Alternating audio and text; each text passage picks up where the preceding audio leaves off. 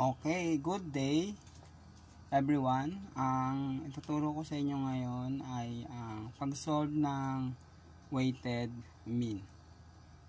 Itong nasa left side ko, ito yung table natin para sa ating given. So, meron tayong 10 statements. 1, 2, 3, 4, 5, 6, 7, 8, 9, 10. Ito ngayon yung ating tinatawag na respondents. Then, ang ating scale ay 5, 4, 3, 2, 1.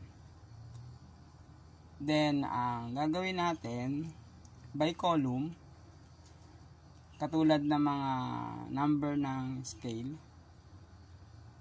Halimbawa, dito sa statement 1. So, dito sa right side naman, dito yung ating magiging uh, solution. So, by row uh, ang ating gagawin. Halimbawa, itong F times 5. Ibig sabihin, itong F, ito yung mga tally score by column. So, lahat ng tally score natin, ita times natin sa 5. Tapos, doon naman sa scale na 4, yung mga tally score, ita times natin sa 4. Okay, for example, dito sa row ng or sa column ng F times 5. Let's say meron tayong 3. Etong 3, ita times natin ngayon sa 5. Ah, meron tayo ngayong 15. Then, ito namang uh, ah, 4, yung F times 4, itong uh, tally 4, ita times mo ngayon by 4.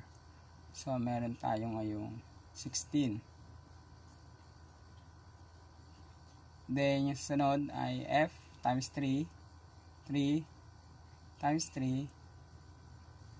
9. Then, yung F times 2. 15 times 2. 30. Then, yung last 15 times 1. 15. Okay? So, ganun ang gagawin natin hanggang matapos natin yung uh, 10 respondents or itong ating 10 statements. Okay? So, second row naman tayo. So, 25 times 5. So, meron tayong 125. Then, 5 times 4 20 then 5 times 3 15 5 times 2 10 and 0 times 1 0 next dun sa third row. So 15 times 5 meron tayong yeah, 75 then 17 times 4 meron tayong 60, 8. Then 8 times 3, 24, 0 times 2, 0, and 0 times 1, 0. Okay, so ang gagawin mo ngayon ay itutuloy-tuloy mo lang yon yung pagkuha ng ng ating tally score times doon sa ating scale by column. So, ayan, nakompleto na natin lahat ng ating uh, first set of the solution. Susunod naman, ang susunod natin target ay itong nasa column ng total. So, ang gagawin mo lang doon sa total, per row, kukuhanin mo yung total. Halimbawa, itong 15 plus 16 plus 9 plus 30 plus 15. Ito yung ating uh, ginawang uh, pag-compute no, gamit ang calculator. So, ito lang natin yan.